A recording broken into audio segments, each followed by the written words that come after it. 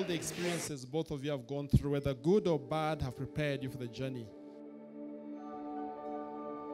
Mr. and Mrs. Mugume, congratulations. We've been practicing this name at home, so Jemima, we've got it now.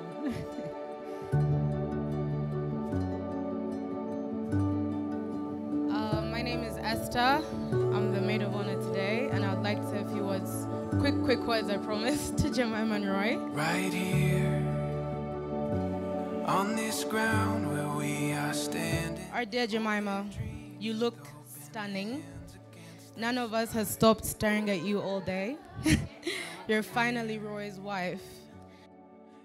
You're such an amazing friend, selfless, attractive, attentive, caring, protective, and extremely wise beyond your years. See it now.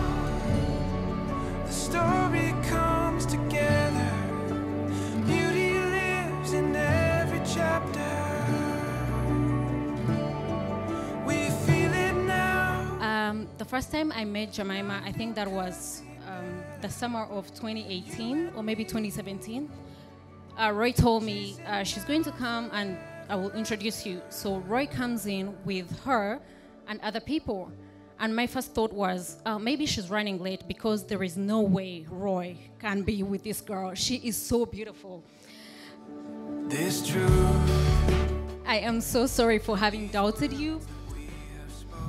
I don't want to be emotional, but This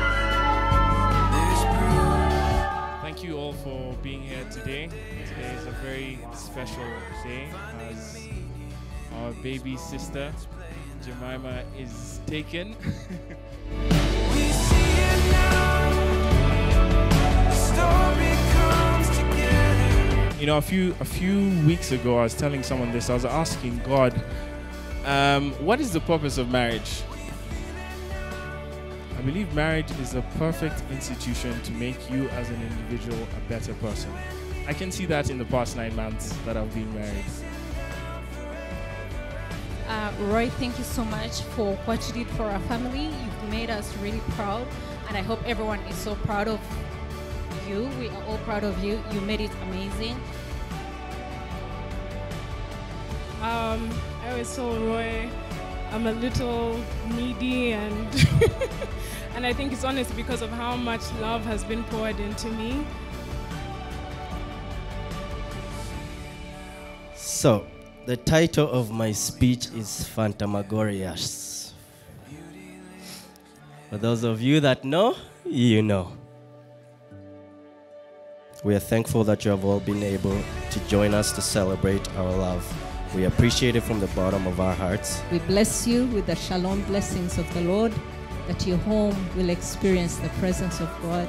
I'll say this as long as a couple is willing to work at the marriage, you're going to go through ups, you're going to go through downs.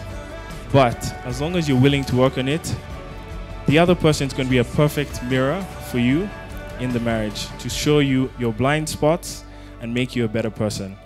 To Roy, we officially hand over our sister. Please take care of her heart, body, and soul. She's now yours to protect, and we promise that she'll also take care of you until her last breath.